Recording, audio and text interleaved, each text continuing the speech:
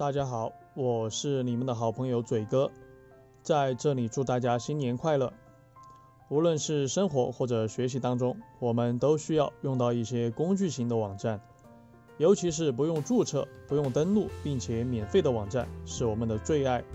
今天嘴哥就给大家带来了十个非常实用的工具型网站，大家一定要耐心看完，保证你不会后悔。下面废话不多说，展示，顺便点个订阅支持我哦。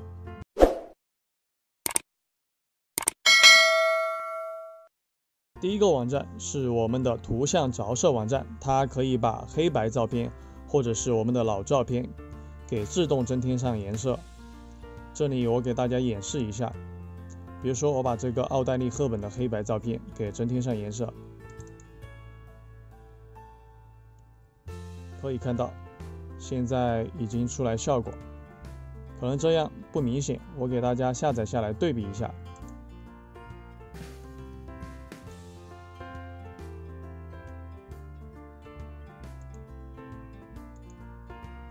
好，我给大家进行一个对比。这是原来没有上色之前的照片，这是上色之后的照片，可以看到效果是显而易见的。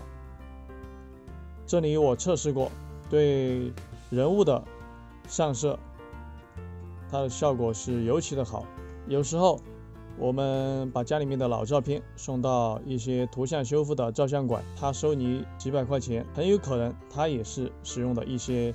AI 智能上色的一些网站或者是软件，嗯，可能几秒钟就已经，可能几秒钟就已经修复完成了，然后等一个星期让你再去取，可能你就觉得它花费了很大的功夫来给你修复完成，你就觉得物有所值。大家可以把家里面的老照片拿出来试一试。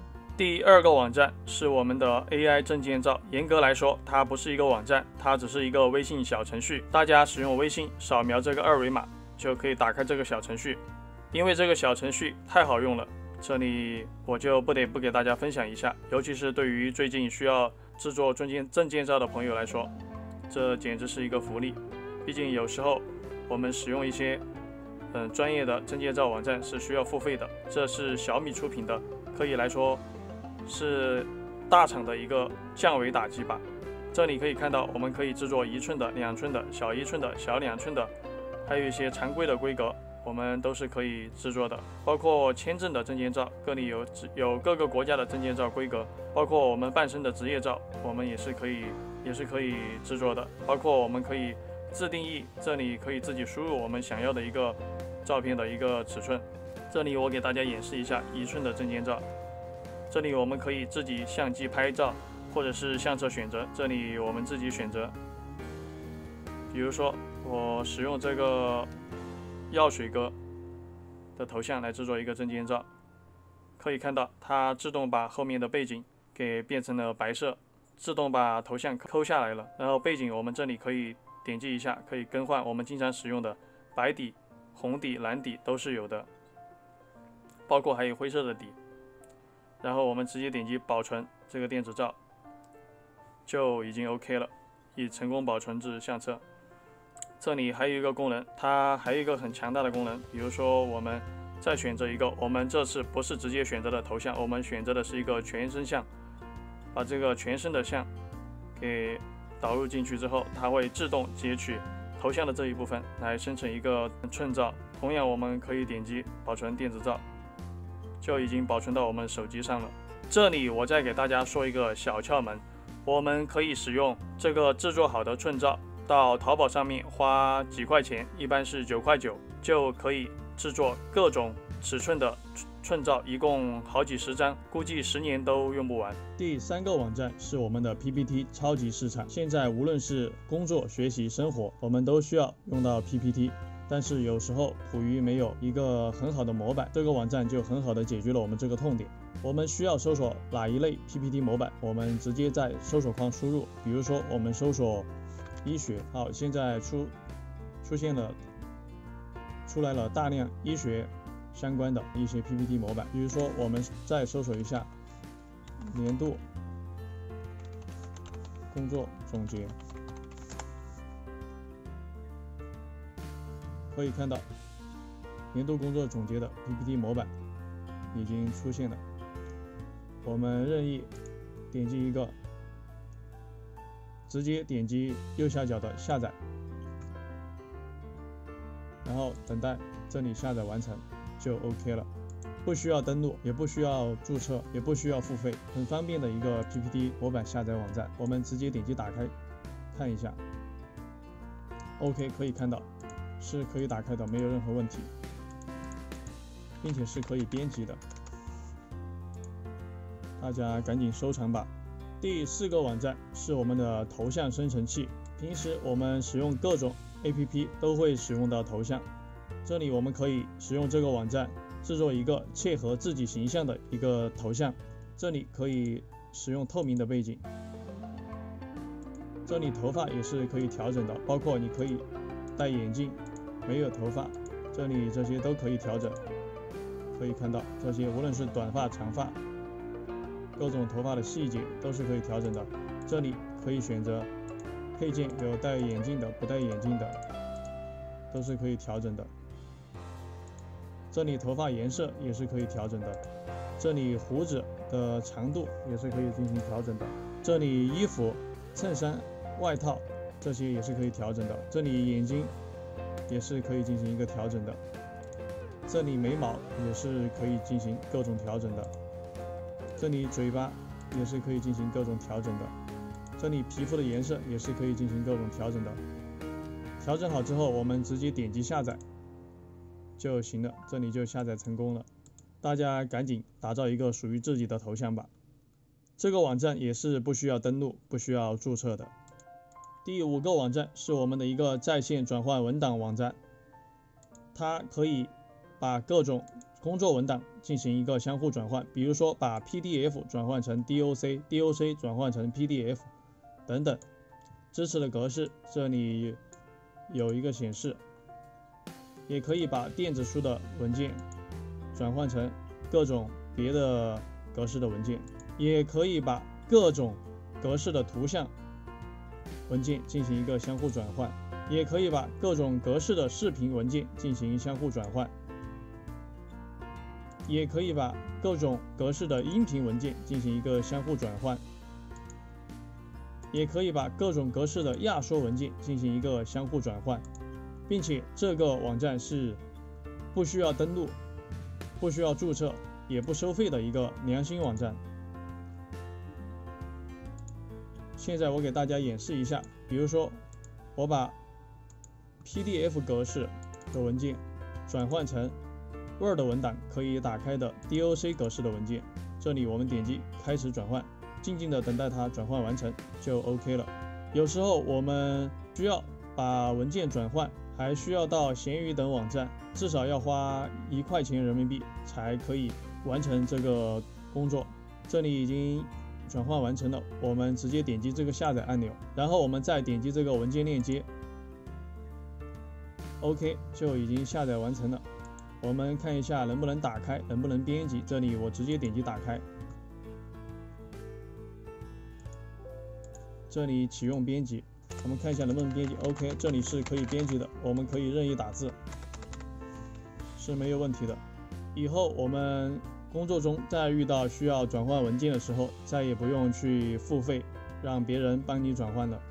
第六个网站是我们的动词，它是一个可以把视频的片段制作成 GIF 动图的一个网站。这里我给大家演示一下，我们选择一个视频。可以看到，下面我们可以最多可以达到九点七秒，我们可以把它拉缩短一点，选一个六秒吧，六秒钟，六点三秒。好，点击这里准备好了发射，这里图片画质我们选择低一点。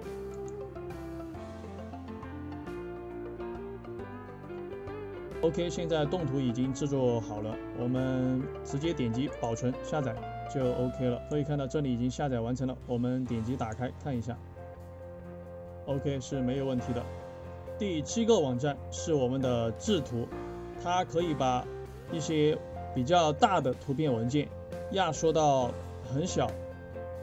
比如说我们工作中经常会遇到一些网站，它限制了图片上传的大小，我们就可以使用这个网站来进行一个图片的压缩。现在我给大家演示一下，我们上传一个比较大的图片，现在可以看一下它有多少多大。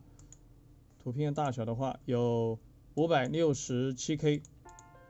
好，现在我点击上传，然后这里图片品质的话，我选择我们选择低一点，可以看到。现在原图是五百六十七点四 KB，压缩之后是二百六十点三 KB。如果你嫌这个图片还是过大，你可以把它下载下来，然后再使用这个网站进行一次压缩。这里我们可以直接点击下载，然后这里就已经下载完成了。可以看到这是下载好之后的图片。第八个网站是我们的可以消除图片背景的一个网站。有时候我们需要对人物或者一些事物进行抠图的时候，这个网站就可以派上用场了。比如说，这里我对这个图片进行一个抠图，可以看到已经抠图成功，而且抠出来的效果也是非常好的。我们可以直接点击这里下载，就下载完成了。我们把原图和现在这个图片进行一个对比。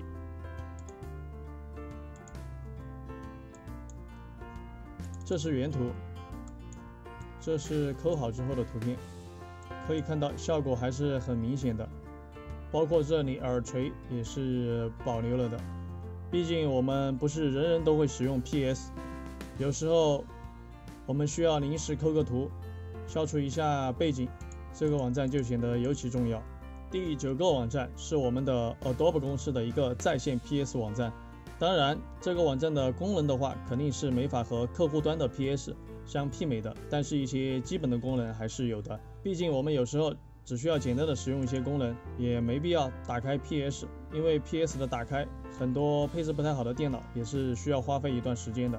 我们这里给大家演示一下这个图片，我们已经上传上来了。我们可以对图片的大小进行一个调整，这里尺寸这些我们可以自己调整，这里也可以对图像进行一个裁剪。这里对图像可以进行一些简单的润色，可以简单的对图像进行一些参数的调整。